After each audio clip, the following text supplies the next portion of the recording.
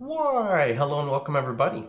It is Pohx again, and today I wanted to go ahead and talk about Path of Exile 4.0, or sorry, Path of Exile 2.0, uh, along with some of the details that kind of encompass it, uh, and then we'll talk about 3.9 in another video. So with that being said, let's check out the official trailer.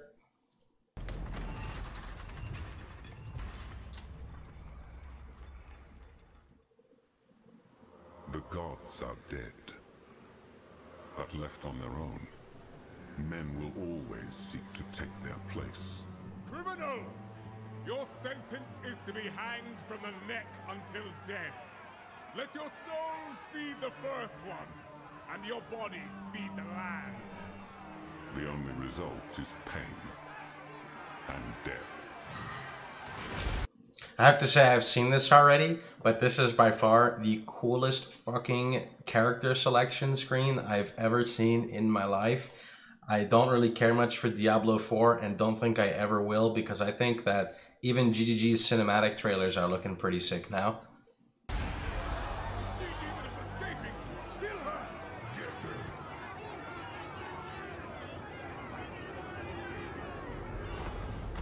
Like you can even hear the water. It's so perfect.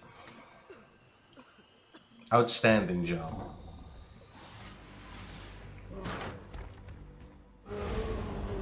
New Hillock fight.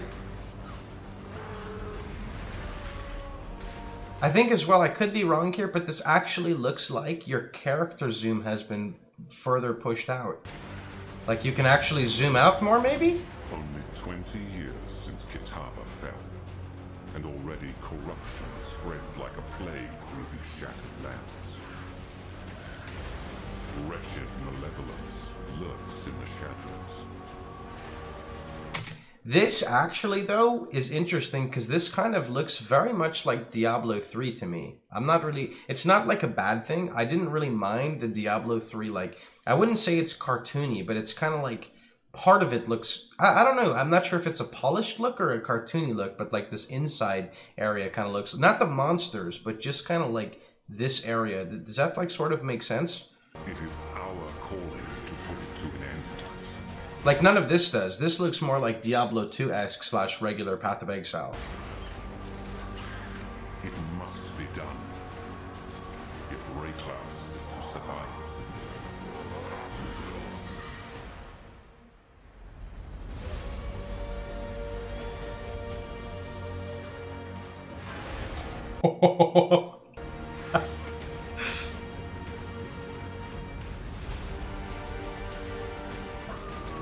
That's that's oh we gotta go back, sorry.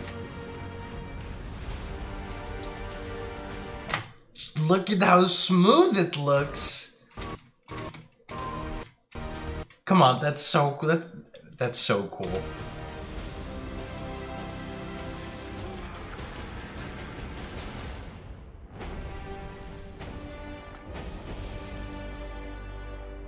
Then there's the whole fact that PoE 2 is going to be uh, a separate story, I think an optional uh, separate storyline. Maybe I, I haven't looked too much into this, where basically um, the new storyline is going to be, I think, have another way of acquiring the new 19 ascendancies that are going to be coming out as well.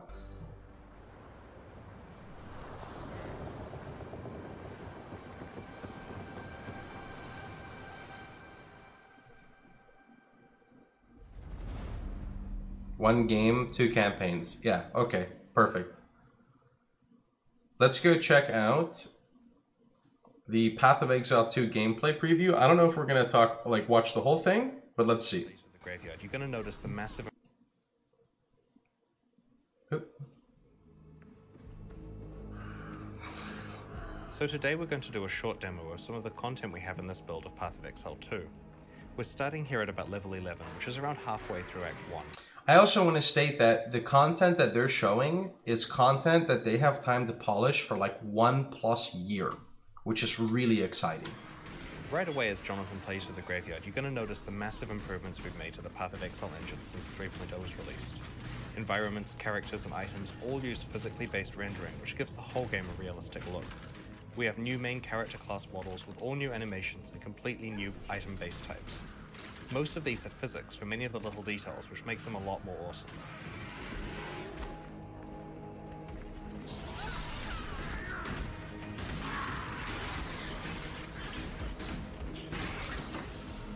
That split arrow looks so cool. I don't know why. Let me see. Can I... Oh, it looks like normal arrows, but they just look so clean. We put a lot of work into updating the skill effects throughout Path of Exile. For example, when you fire a split arrow, you really feel the individual arrows because some stick in the walls and others bounce off realistically. That's probably what it is then.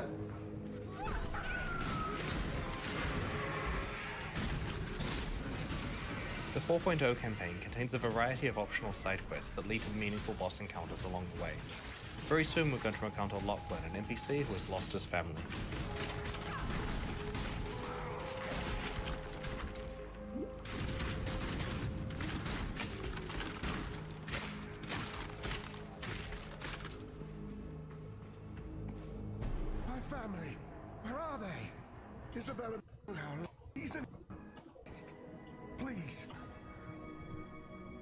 The game has changed a lot more than just visually though.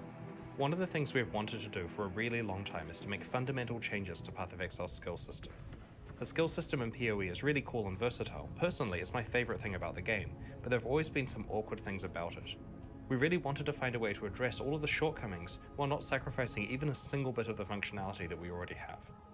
When you see the inventory here, you will notice something missing all of the sockets on the items. This is because in Path of Exile 2, you no longer put gems into your items. Instead, the skill gems themselves have sockets, as you can see here, and there is a dedicated screen for socketing them.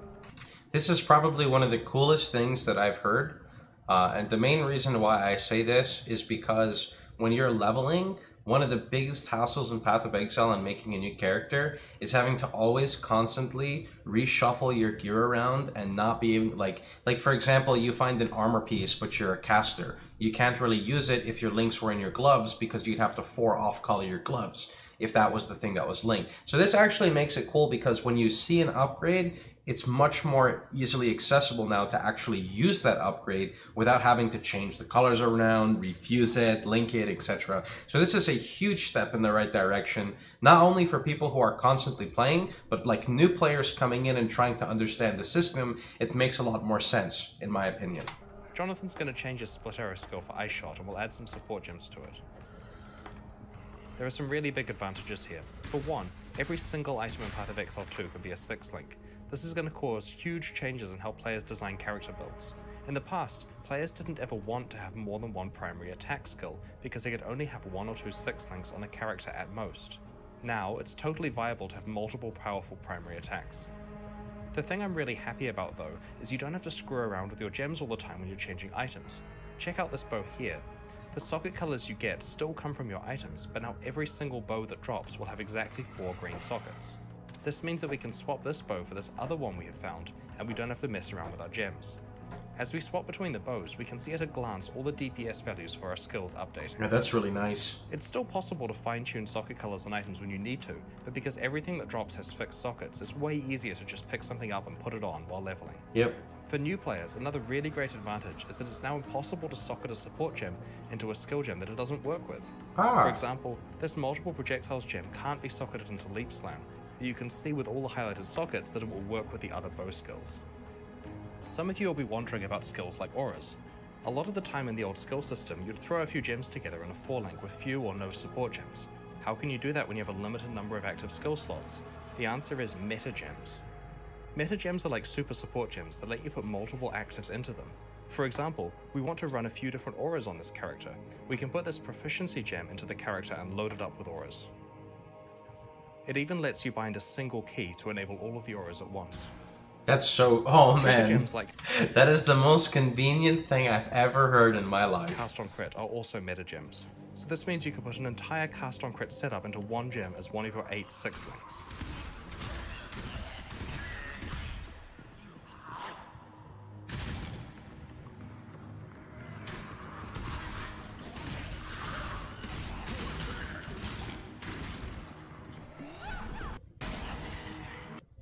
One of the things we really wanted to improve in Path of Exile 2 was our lighting system. The new PBR rendering, in addition to a much more realistic light fall-off, makes this area look significantly more awesome than what we Yeah, I definitely have to say, I think Path of Exile really shines with its lighting, and I was talking to someone about it earlier, and they were explaining how because Path of Exile is so dark, you can really make the illumination of skills look so nice. possibly achieve in the past.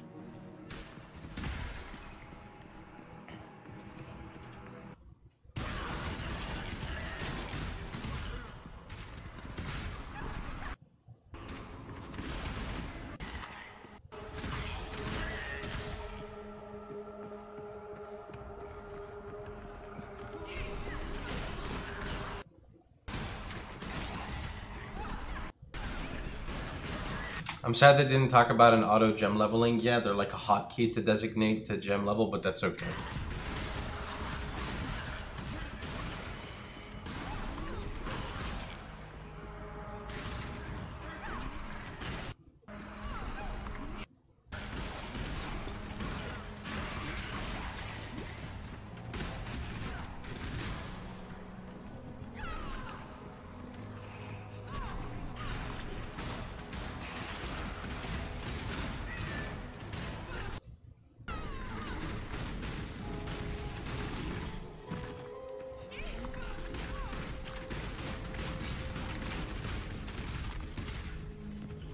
Okay, I figured that's that's pretty much enough to look at from this. It looks super nice. I just want to go into the, I guess, the more refined details.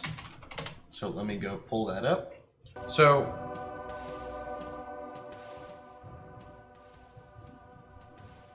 all right, let's go ahead and look at some of the 4.0 details and kind of call it cover them. So, infograph on how people, I'll leave that alone. Uh, new character page, which I think we, oh, we didn't see in the video. Nice. This is super nice. I really like how simplified this is. Um, you've got your life, energy, shield, mana. That's kind of nice how they do that. Armor, evasion, block, dodge. Uh, your resistances. This is like done so nicely. No more like fucking looking at the number trying to see like where everything is. Uh, life, base, maximum life recovery, maximum total recovery, energy shield, night, and then there's even a little bit more. Perfect. That looks super cool. New campaign uh, will be set 20 years after the first. You know what's awesome? So, a little sidetrack here. I never really follow lore in games, and it's not that I follow, I don't follow lore because, like, I don't care about it. It's that I literally just don't remember because my brain doesn't want to focus on that aspect of the game.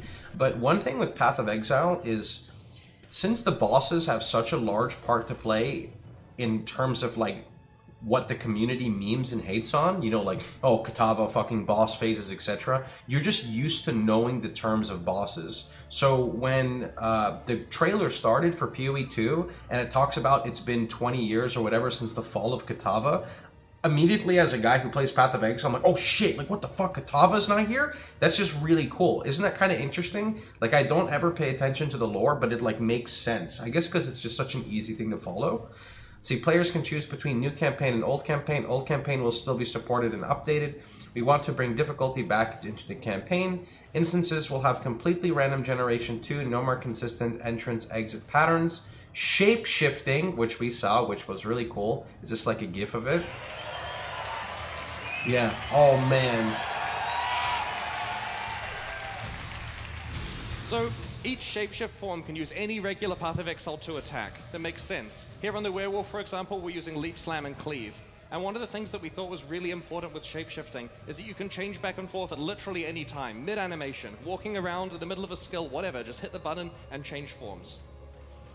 That's cool. They basically took like the Blood and Sand stance to an extent and like used that system how you can toggle it instantly. It's really good that they did the instant toggle, I think.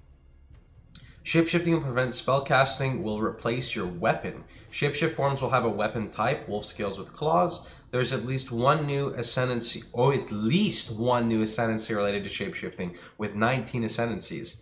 There will be a new way to ascend, and lab will appear not in a way you'd expect. Oh? There are new exiles from the PoE 2 campaign, each in the same genre of the old exiles, confirmed as additional ascendancies. Wait, what? There are new exiles from the PoE 2 campaign, confirmed as new additional ascendancies. Okay, ascendancies can uh, contain nodes similar to current ascendant, where you choose one of three options. Ranger ascendancies, survivalist, beastmaster, and tactician. Okay, survivalist. Ooh, what's this? Let's look. Uh, division. Gems socketed in your weapon grant two skills. One supported by GMP, the other supported by Barrage. Oh god, that sounds so cool. Multiplication. Each second your next projectile fires X amount of projectiles, stacking up to plus five. Vaal Burning Arrow.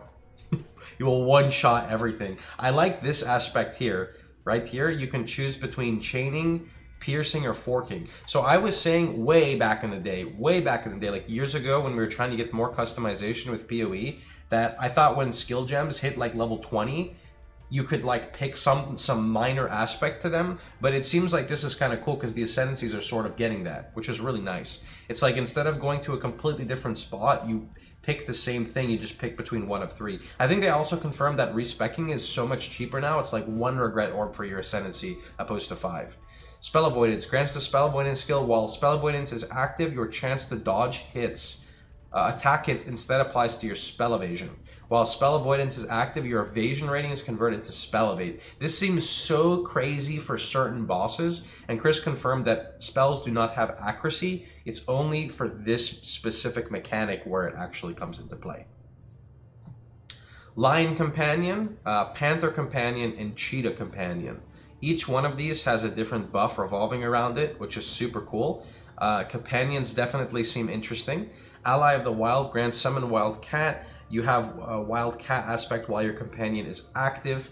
Uh, born to the wild or born, born to be wild grants werecat form skill 10% more damage while shapeshifted and then wild shapeshift wild shape increased buff effect for shapeshift skills retain your oh this allows you to keep one buff on at all times which is cool so even if you're in like so if you go from lion to regular you'll still have lion. If you go from panther to cheetah you'll still have panther while having cheetah. Either way though this is just you don't have to like theory craft this right now. It's a year plus from coming out but it's just a really cool concept to be able to see into the future.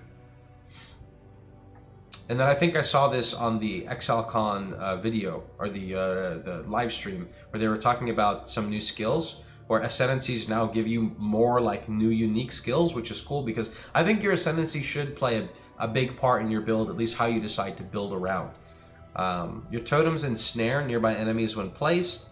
Your most recent placed Ballista Totem deals 100% more damage, has 100% more attack speed, and takes 50%. This is like pretty nuts. This seems pretty fucking cool, dude. Siege Ballista Totem. You may use a melee sword and axe skills with your bow. 10% more melee damage with bows and Warmark, plus one maximum flare arrows. I like seeing like how much extra shit we're gonna have because it just seems so cool to have so many different things at the same time.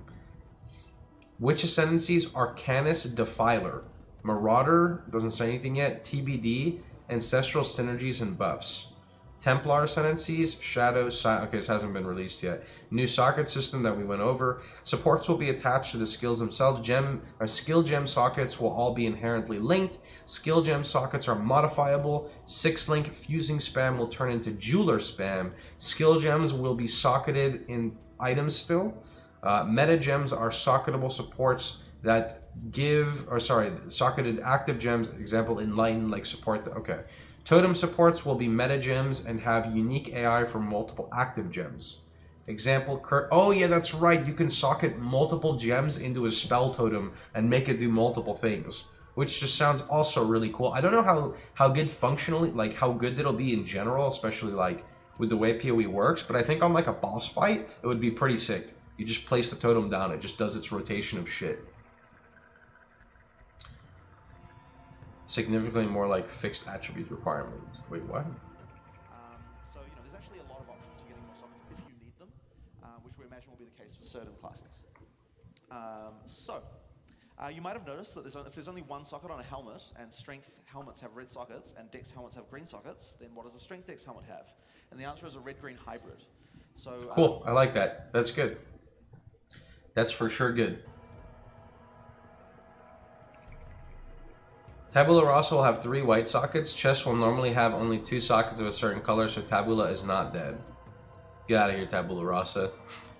We will have the ability to transfer experience from one gem to another, possibly might be fixed only to another gem of the same skill. This is a cool idea though, because since you now six link your gems, um, imagine like you're playing, usually this would be towards SSF or like early on into a league, you have like a level 19 fireball that's five linked or, or, five socketed, I guess you could say, however you want to pronounce or say it. And then you open a strong box and a six link fireball drops. you could take the experience on your current fireball and give it to the level one, which will boost it back up the other one, and you'll have a six link level 19 now. This is not really confirmed 100%, but I do like this idea for sure. Fusings are going to be 100% useless and may even be removed. Gem quality will increase the chance for six sockets, and six socketing a gem will be much easier than current six link. Commentary and item decluttering. Okay, I don't think I actually saw this one. Let's take a look. and you know getting their getting their additional item upgrades at the right speed. A, a thing that's important to understand for context is we have this decluttering project, which we haven't talked about a lot, which is basically just paring Path of Exile items back and looking at how it all works overall, which has to be done before 4.0. And this is a lot of, like, we started work on this many months ago now. The basic idea is there's not so much random white trash that drops in the. White you know, so- trash? So many white items that drop in maps, right? Instead of 500 items on the ground where there's, you know, 20 rares, wouldn't it be better if there's like 80 items on the ground with like 10 good rares? And so we've got a lot of work we're doing on this, and that's why we're thinking about reward quite a lot recently, because we like the idea of you having to look at less things, but generally finding it more compelling. Because as you know right now, an item dropping on the ground is almost not worth looking at sometimes because you can just craft something so much better. So we're looking to find overall a better compromise where you're excited to craft, you're excited to find items, there's a lot less reading, you don't filter 99% of drops out. That's good. So I'm That I'm I'm extremely happy to hear this. add to this if I've skipped anything. I'm really curious how exactly they're going to do it though. Well, if, if this works out, what Chris is talking about, we will end up with a better system of allowing difficulty and reward correlation, um, which, so hopefully that all works on our end because it will produce, Can we get a hashtag happy feet in the comments for GGG Neon? hopefully, a better result. Um, This decluttering is not scheduled for 3.9.0. We're still working on it. It's one of those dangerous things to release. And honestly, my major trepidation with releasing it is we can have it so, like we have it right now, that using the decluttering system, you're getting much better rare drops when they drop, right? You know, there's a lot of things we're doing there. We'll talk about it later. But there's still fewer, right? So in the old game, you kill some monster, 11 rares drop. You look at them and they're garbage. And under the new system, three rares drop. They're a lot better on paper. But you look at them and you think, huh, they're garbage. Because they weren't good for your character. And I don't want people saying, well, they just cut out three quarters of the drops and didn't make them better. And so that's what we're trying to achieve with that, is making sure that it's communicated well and that the items are actually more meaningful for the average player, as opposed to being better on paper because it rolled higher tiers of mods that still don't matter to your particular build, for Right. example. So there's a lot of work that has to go into this, both on our end and in terms of like phrasing it correctly to the community when we eventually do roll it out, that it's a bit of a challenge and not scheduled for any particular expansion. But it will, I mean, this is a bit of a rant about decluttering. The performance improvements we will gain by not having an extra 600 rendered items on the ground with shadows, for example, 600 items that every frame on the client and on the server have to be ticked to see if there's anything going on with them. There's so many things that we get game wide by having a more understandable set of fewer drops occurring that um, it's something we're very, very keen to roll out in the future. That's awesome And to hear. probably won't actually contain the final version or any of that necessarily, but we are thinking about this when we're looking at the reward um, with regard to how challenging the map content is.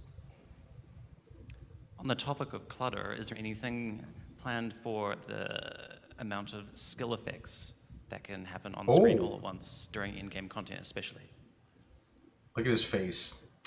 Look at his face. He's like, you're paying money for skill effects and you want us to reduce it? There's nothing currently planned, but of just, just look at Chris's face. I agree with all of you and everyone.